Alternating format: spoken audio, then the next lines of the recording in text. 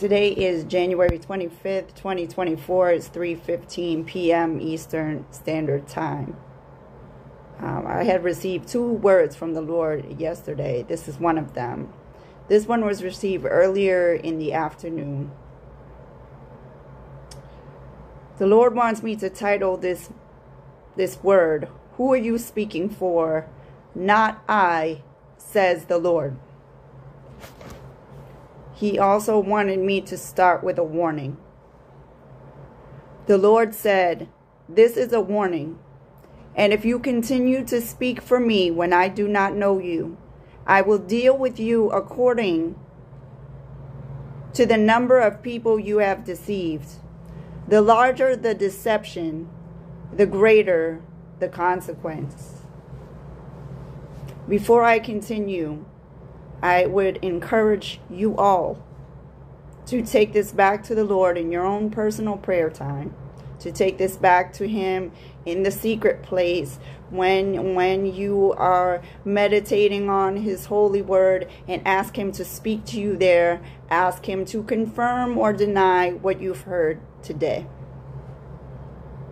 This is what the Lord said. What's this profane thing you have set before me? This abomination. It is like a sick animal laying on the altar. Shall you speak for me when I do not know you? Shall you continue telling my people lies, prophesying peace and prosperity when I have said no such thing? You cannot test the Spirit because you do not have mine. Why would I entrust you with heavenly things when you are not honest about the little things? Shall you who lack integrity speak for me? Shall you who shun my commands to walk in love shepherd my people? It is only by my grace and tender mercy that I have given you time to repent of your wickedness. Your hearts are swelled with pride. You are so sure you are hearing from me but why would I give you heavenly wisdom when I never hear from you? You know my word well enough, but do you heed my instructions? Do you honor my counsel? Many of you are prophesying out of a place of suspicion and distrust, speaking out against my anointed, seeking to discredit them, and insisting that I have called on you to do it. I am not the accuser of the brethren, Satan is.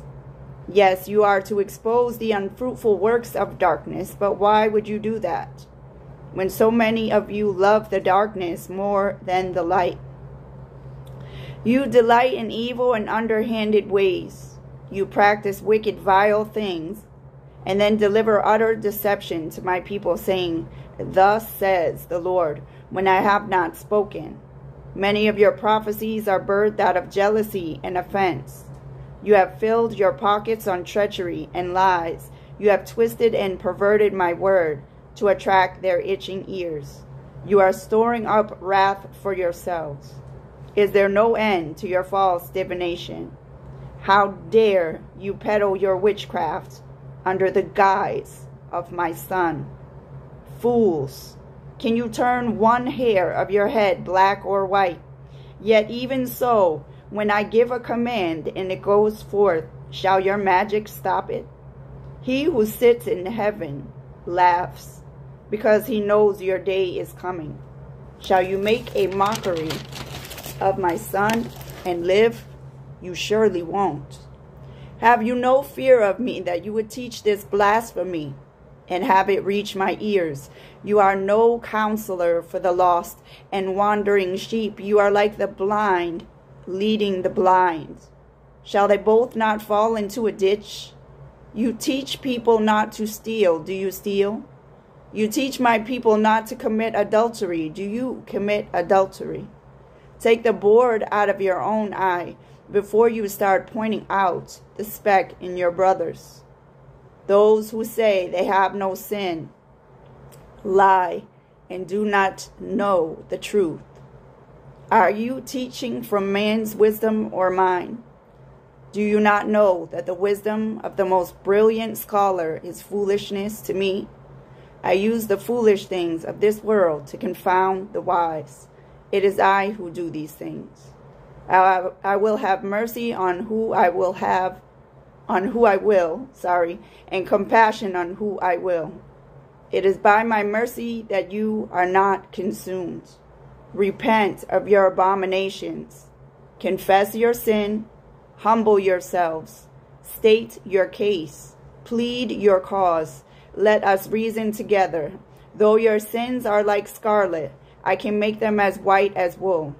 And after you have suffered a little while, I will comfort you once more. But you must repent. Admit your guilt, that it is I and I alone that you have sinned against, and done this evil thing in my sight. I am a merciful God, full of loving kindness and tender mercy. Humble yourselves, turn to me, and I will hear from heaven, and I will heal your land. I will wash you clean of your uncleannesses. But if you refuse to repent, you and everything you have built your lives upon will be destroyed, says the Lord. I am the Lord, that is my name. My glory I will not give to another. Humble yourselves, or be humbled. I'm going to go over these confirmations with you that the Lord gave me shortly after he gave me this word. So in Luke, um, and I was in the New King James Version, he brought me to page 994 where three times the word shepherd came up. And then he brought me to the word lying.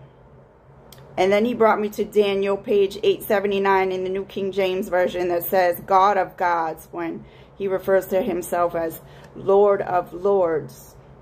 He also brought me to Jeremiah 21, 8 and 12 to 14. Proverbs 29, 23. A man's pride will bring him low, but the humble in spirit will retain honor. Proverbs 38, just this part. It says, Remove falsehood and lies far from me. Proverbs 30, 32. If you have been foolish in exalting yourself, or if you have devised evil, put your hand on your mouth. Ecclesiastes 2:11. Then I looked on all the works that my hands had done, and and on the labor in which I had toiled, and indeed all was vanity, and grasping for the wind.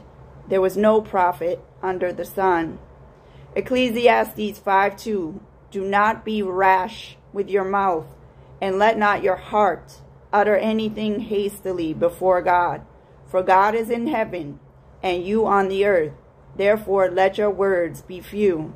Ecclesiastes 5 6. Do not let your mouth cause your flesh to sin, nor say before the messenger of God that it was in error. Why should God be angry at your excuse and destroy the work of your hands? Ecclesiastes 7, verse 21, just these words. Also, do not take to heart everything people say.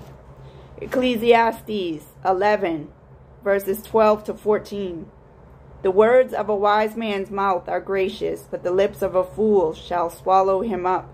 The words of his mouth begin with foolishness, and the end of his talk is raving madness. A fool also multiplies words. He told me to stop there. Jeremiah 49:16 Your fierceness has deceived you, the pride of your heart, O you who dwell in the clefts of the rock. You hold the height of the hill. Though you make your nest as high as the eagle, I will bring you down from there, says the Lord. Matthew 5:19 Whoever therefore breaks one of the least of these commandments and teaches men so shall be called least in the kingdom of heaven. But whoever does and teaches them shall be called great in the kingdom of heaven. Matthew 7 22 to 23. Many will say to me in that day, Lord, Lord, have we not prophesied in your name? and cast out demons in your name, and done many wonders in your name. And then I will declare to them, I never knew you. Depart from me, you who practice lawlessness. Luke 8 17. For nothing is secret that will not be revealed, nor anything hidden that will not be known and come to light. Hallelujah. John 8 44 to 45. You are of your father, the devil, and the desires of your father you want to do. He was a murderer from the beginning and does not stand in the truth, because there is no truth in him. When he speaks a lie, he speaks from his own resources. He is a liar and the father of it. Verse 45 But because I tell you the truth, you do not believe me. John 8:51 Most assuredly I say to you, if anyone keeps my word, he shall never see death. Jeremiah 30:15 Why do you cry about your affliction? Your sorrow is incurable because of the multitude of your iniquities, because your sins have increased. I have done these things to you.